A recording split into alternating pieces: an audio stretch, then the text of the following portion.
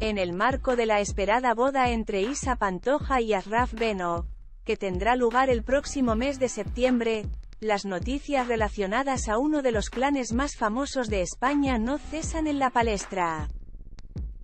De los medios de comunicación tras darse a conocer que Isabel Pantoja, 66 años, habría puesto una cláusula innegociable para asistir al enlace de su hija menor, poder coincidir con su inseparable hermano, Agustín Pantoja, 58 años, a dicha fiesta. Algo que caería como balde de agua fría a los novios, quienes no tienen una buena relación con el hermanísimo de la tonadillera.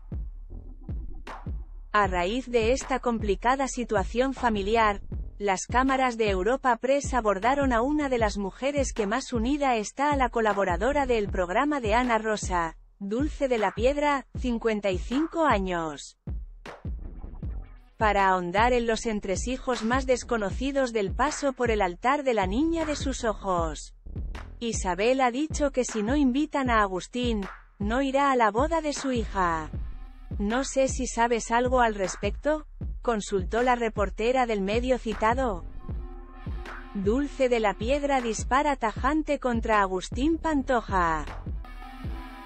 Para mí eso es lo de menos. ¿Crees que me va a interesar eso a mí para preguntarle siquiera?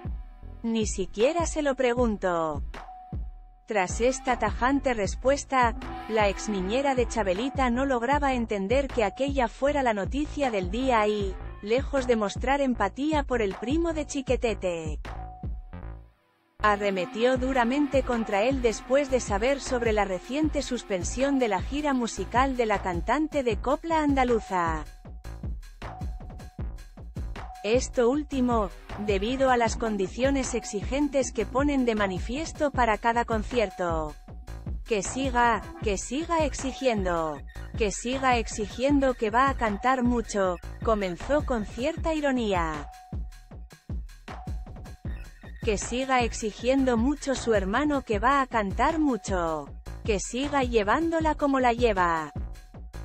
De esta manera, Dulce de la Piedra se sincera como nunca antes y deja entrever con total firmeza que el único responsable de los problemas tanto familiares como económicos de Isabel Pantoja es su hermano menor, Agustín Pantoja, a quien tilda de hacerse pasar como el mejor manager del mundo.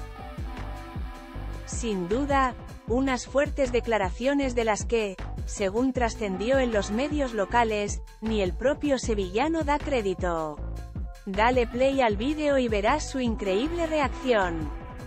Dulce se llama al silencio en este aspecto.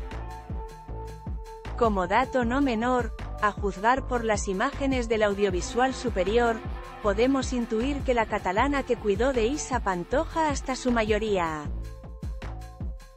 de edad opta por llamarse al silencio en torno a la supuesta infidelidad que habría sufrido la influencer por parte del participante de Supervivientes 2023.